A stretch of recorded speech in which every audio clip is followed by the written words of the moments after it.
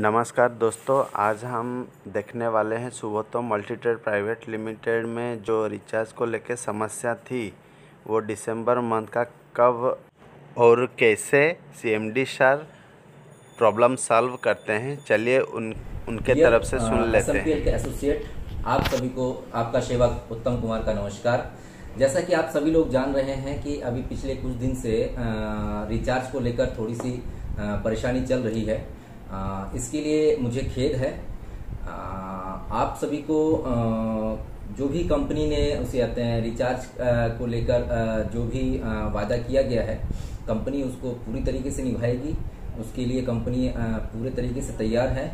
आप सभी लोग कंपनी पे भरोसा कर सकते हैं।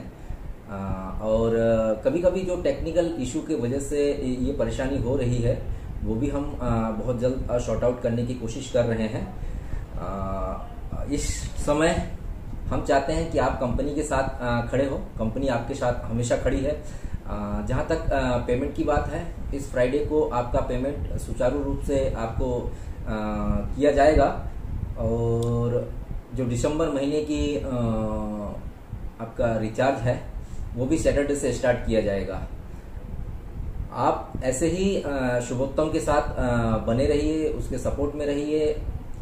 मैं हमेशा आपके साथ था, हूँ और रहूँगा।